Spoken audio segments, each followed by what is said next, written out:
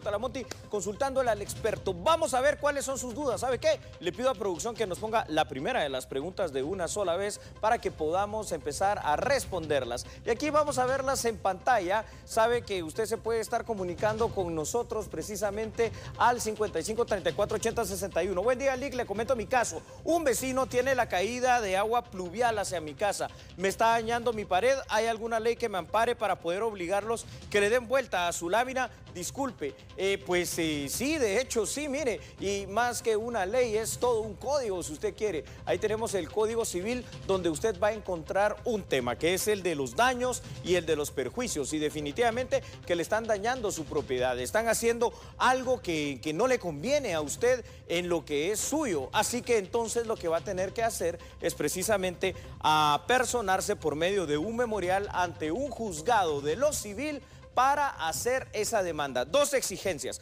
que le quiten esa caída hacia, hacia el lado de su casa para que la pongan al revés y si hay algún otro daño estructural que le hayan causado, que haya un resarcimiento económico, lo que llamamos daños y perjuicios. 55 34 80 61, seguimos acá. Buenos días, licenciado. Bueno, buenos días a usted. Hace unos días fui al juzgado a exigir la manutención de mi hijo, porque el papá lleva meses sin cumplirla. Pero el día de ayer me llamó diciéndome que no se hará responsable y que le quitará el apellido a mi hijo. ¿Qué se haría en ese caso? Número uno, ah, llámelo usted también, agarre su teléfono y diga, mira, mentira lo que estás diciendo. ¿Por qué? Porque lo que está diciendo no se puede, no lo puede hacer él. Simplemente quitarle el apellido así es una cuestión de filiación. Y con el tema de que no cumple eh, lo de la pensión de alimentos, sencillo, tranquila. El abogado que le ayudó a usted, el de confianza, se apersona al juzgado que fijó la pensión de alimentos. Se hace un memorial. Un memorial es un escrito donde se dice que por tantos meses este señor padre no ha cumplido con ello y entonces lo van a mandar a llamar. Y recuérdese, por Deuda no hay cárcel, salvo cuando se le debe al Estado impuestos y cuando se debe lo que es la pensión de alimentos. Vamos a seguir aquí contestando preguntas, pero antes hay una información que vamos a tener por allí de, última hora muy importante. Vamos a seguir con una pregunta más mientras tanto. Por favor, 5534-8061. Buen día, Dios le bendiga. Gracias a usted también. Una pregunta. Mi hijo está preso por casos especiales de defraudación. Wow. Le dieron un año de prisión y una multa de 300 mil. Ahora bien, ya cumplió el año de prisión. Ya lleva un año pagando multa. ¿Se puede negociar pagar la multa por pagos mensuales? Ah, perdonen ahí, recuérdense que nosotros proyectamos esto tal y como lo escriben. Si hay faltas ortográficas, pues es por eso. A ver, un año de prisión es una situación conmutable, se puede cambiar por una multa, es decir, ese año de prisión ya está cumplido, esto es evidente. El tema de la multa, la multa está alta para un año de prisión, 300 mil quetzales. Entonces lo que tiene que hacer es apersonarse a lo que es el juzgado de ejecución y pedir nuevamente, solicitar, amparándose en el artículo 28 de la Constitución, el hecho de que se le pueda eh, condonar esa multa, que se le pueda perdonar, llamémosle así para que lo entendamos en los términos jurídico-legales. El juez puede hacerlo. Ahora, si el juez dice no es posible, entonces solo hay otra alternativa y esa alternativa no le va a gustar porque el juez ahí va a determinar que se va a cambiar esos 300 mil quetzales por un monto de entre 5 a 100 quetzales diarios hasta que, digamos, si son 100 quetzales diarios, hasta que se logre pagar esa cantidad de 300 mil. Así que yo ya estaría viendo ahí cómo con el abogado de confianza de su familia, hacen esa petición al juez de ejecución para que se conmute, para que de alguna manera esa se pueda condonar y pagar. Ahora, ¿hay más preguntas? Sí, pero antes vamos con otra situación.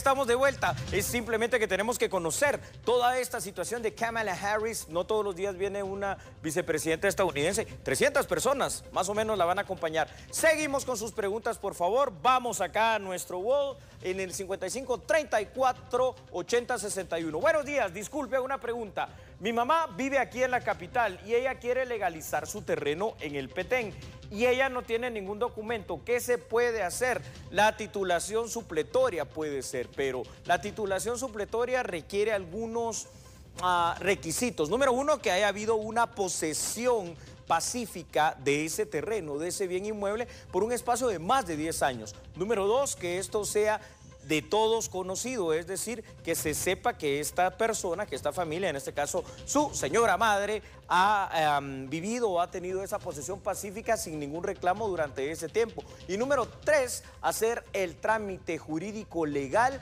para que entonces pueda obtener bajo la figura jurídica de la titulación supletoria lo que usted quiere, es decir, que su mamá sea la dueña de ese terreno. Habrá que hacer, por supuesto, inicialmente, para no perder el tiempo, la investigación catastral en el registro de la propiedad, simplemente para establecer que ese terreno, esa finca, como se le llama a estos bienes inmuebles, no eh, sea propiedad de otra persona en lo legal. Vamos con la siguiente pregunta, el 55 34 80 61. Bueno, un testamento, qué bonito, ¿verdad? Buenos días, Lic Tulio Talamonti. Ese es otro, pues, pero porque yo soy Julio, pero está bien, no tenga problema. Mi nombre es Jacqueline, tengo una hija de dos años, pero no tiene el apellido del padre. Yo quiero que el padre de mi hija que le dé su apellido, pero él se niega. Tampoco no le pasa manutención porque niega que es su hija. El papá se dedica a la agricultura, ¿como cuánto le tiene que dar?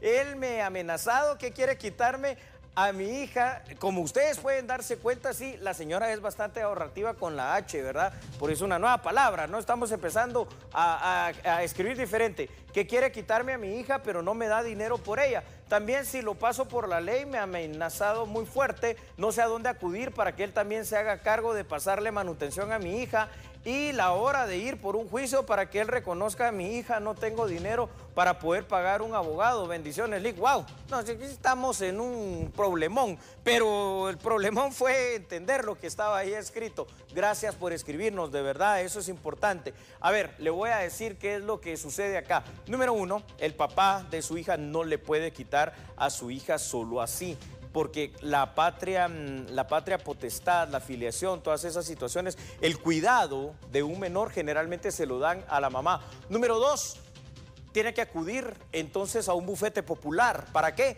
Para que le ayuden a plantear esa demanda sobre el tema de la pensión de alimentos. Número tres, de alguna manera, no le sabría decir su servidor en este instante cuánto le tiene que pagar, porque eso depende del monto que se pueda demostrar en un estudio socioeconómico de lo que gana su esposo. El porcentaje sí se lo puedo dar, hasta un 50% con la modificación que se hizo hace unos años de lo que él pueda demostrar que son sus ganancias, llamémosle así.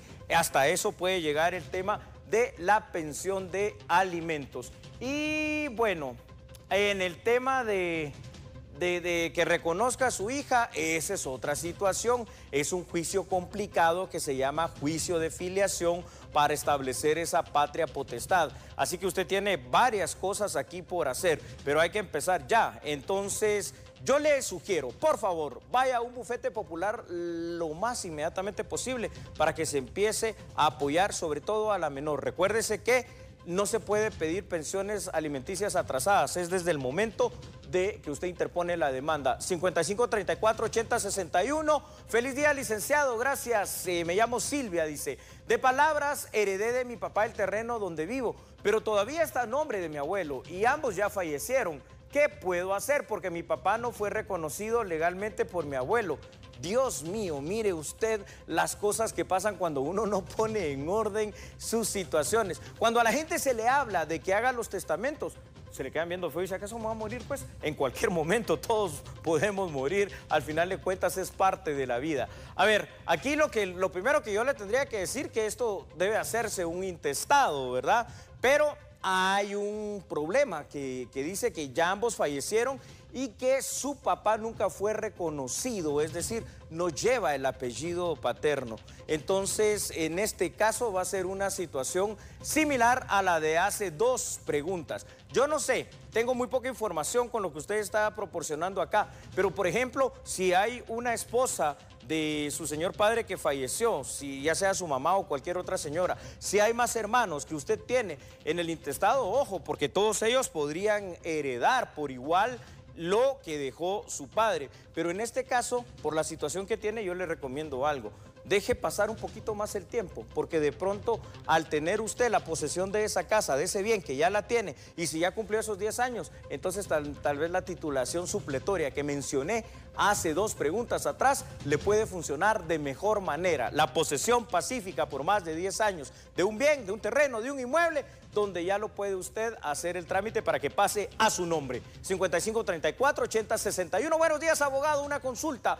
¿Puedo pelear? Sí, peleé con quien quiera, no, hombre. Siete años de pensión alimenticia. Se me dificultó solventar esta situación, puesto que el papá de mi hija es de Oriente y yo del Occidente. Qué bien, ¿no? Y el trámite de pensión lo realicé en el juzgado de Zacapa, pero él se desapareció y jamás volvió a ver a mi nena y entre ellos los depósitos de pensión jamás los volvió a hacer. A ver, entiendo que usted ya... A ver, Dos cosas, si no lo había demandado anteriormente no puede pelear nada, porque la pensión de alimentos no es retroactiva, es desde el momento en que se interpone. Ahora yo entiendo aquí que sí ya la había interpuesto, que el tipo este lo que hizo fue desaparecerse, entonces esto en teoría debería ser muy sencillo, a través otra vez de la función de su abogado de confianza, un memorial. ¿Qué es un memorial? Porque lo menciono mucho. Un memorial es un escrito, ¿verdad? Que lleva todos los em, requisitos de ley de nuestro código notarial. Entonces, de alguna forma, con esto se apersona al juzgado donde se interpuso y donde se otorgó la pensión de alimentos en favor de su hijo o de su hija. ¿Y qué va a pasar? El juez va a mandar a llamar por la fuerza, si es necesario, es decir, con la PNC, a este señor. Le va a poner al tanto de este asunto, le va a dar un tiempo, dos, tres, cuatro días, y si no paga, pues va a girar la orden de aprehensión y él va a ir a la cárcel. Eso es lo que puede hacer. En lo legal no se puede por el momento hacer nada más.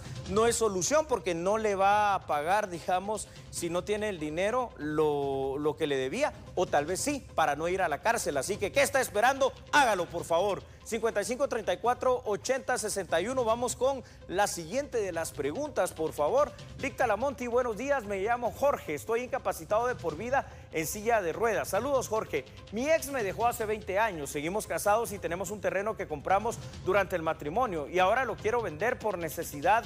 Eh, lo he tenido en posesión todo ese tiempo. ¿Qué puede hacer? Bueno, eh, muy bien, número uno. Eh, primero yo lo que le recomiendo, Jorge, es que se divorcie, ¿verdad? En lo legal, juicio ordinario de divorcio de esta persona, alegando obviamente que están ya desde hace 20 años separados, que no hay vida marital. Con el tema del terreno, lo que habría que ver, fíjese Jorge, es a nombre de quién está ese terreno porque eh, ahí eso es lo fundamental. Si está a nombre suyo, no hay problema. Ahora, si está a nombre de su esposa, que tal vez por ahí, de, o de quien fue su esposa, puede venir esta situación, ahí sí hay un problema, porque entonces él o la propietaria legal va a ser otro y solo tendría que haber algún tipo de acuerdo, algún tipo de arreglo, alguna situación en cuanto a que si usted lo vende le pasa un porcentaje. También aquí habría que ver cuáles fueron las capitulaciones matrimoniales que ustedes tuvieron, cuál fue el régimen en su momento por el cual se casaron, porque puede ser que se haya sido esa comunidad de, bienes o de gananciales y aparece la señora y, y, además está a nombre de ella el terreno, le corresponda la mitad de eso. Así que lo que hay que ver para tener una mejor respuesta es cómo fue su régimen para cuando usted se casó y a nombre de quién está ese terreno. Esas son las dos cuestiones fundamentales, Jorge. 55 34 80 61. Buenos días, Licta Lamonte. Mi nombre es Lucía. Hola, Lucía. Mi esposo me fue infiel. Tenemos una casa que está a nombre de mi esposo pero la construcción la hicimos dentro del matrimonio. También tenemos cuatro empresas que están a mi nombre, pero ninguna tiene movimiento. Y hay un préstamo que mi esposo pidió a mi nombre. ¿Qué puedo hacer ya que él me quiere dejar y quiere poner la casa a nombre de otra persona? ¡Wow! Bueno, hicieron la construcción de esa casa dentro del matrimonio.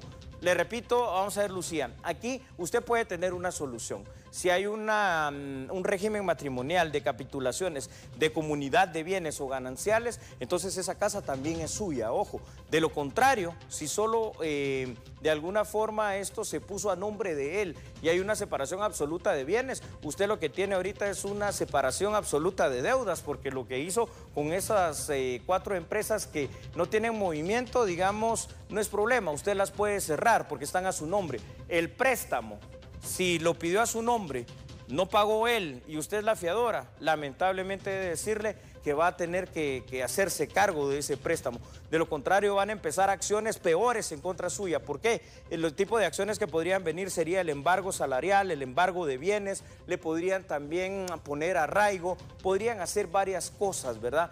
Hay que tener mucho cuidado. Mire, yo sé que el amor es algo tremendo, pero el amor a veces como empieza, se acaba. Y del amor al odio, pues también hay un paso. Y en este caso, esto es precisamente lo que está pasando. Le recomiendo algo aquí, ya sea que a un bufete popular se le pueda atender o si tiene un abogado de confianza ya con más tiempo, llevar todos los detalles, el caso y los papeles para tratar de darle una solución. Porque algo sí le digo, solución siempre hay. Lo único que hay que buscarlas y hay que tener cuidado. No hay que confiar en nadie, ni siquiera en su cónyuge. Señoras y señores, para su servidor ha sido siempre un gusto. Martes y jueves consultándole al experto aquí en Noticiete, donde estamos comprometidos.